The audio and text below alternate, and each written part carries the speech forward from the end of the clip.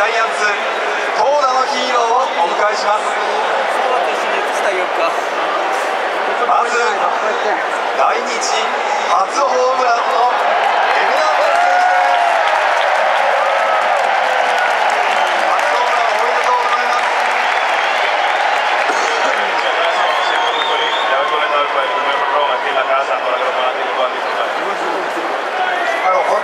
デス選手です。えー、何よりあのホームゲーム東京ドームでファンの皆さんの前で出たこと本当にあの嬉しく思います。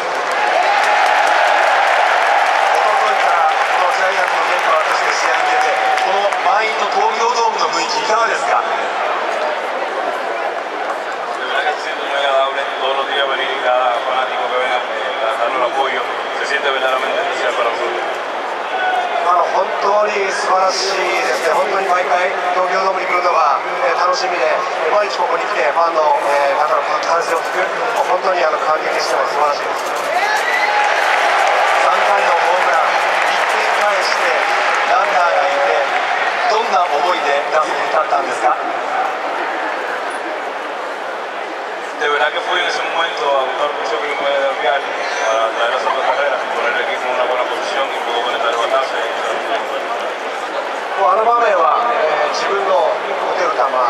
ランナーを返せるボールをしっかり待とうと、そういう気持ちで打席に入ってました。どんなボールを打って、そして手応えはいかがでしたか？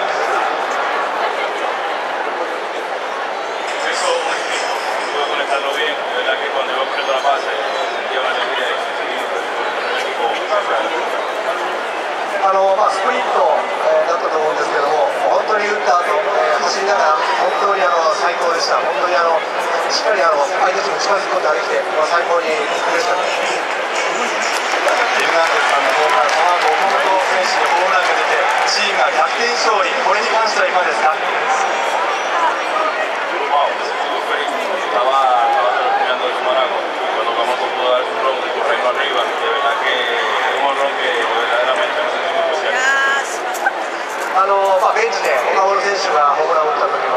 水を飲んでたんですけども、もうホームラン打った瞬間、本当にあの嬉しくて、おかげで勝ちまして、本当にあの特別なあの試合になったと思います。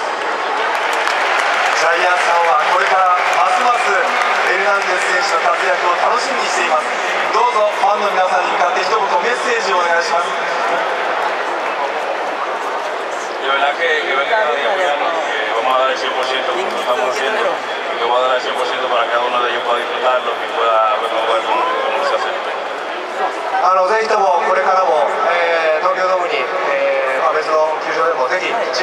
ください。我々選手は100%全力出し切って皆さんの応いに応えるように頑張りますのでこれからもよろしくお願いします。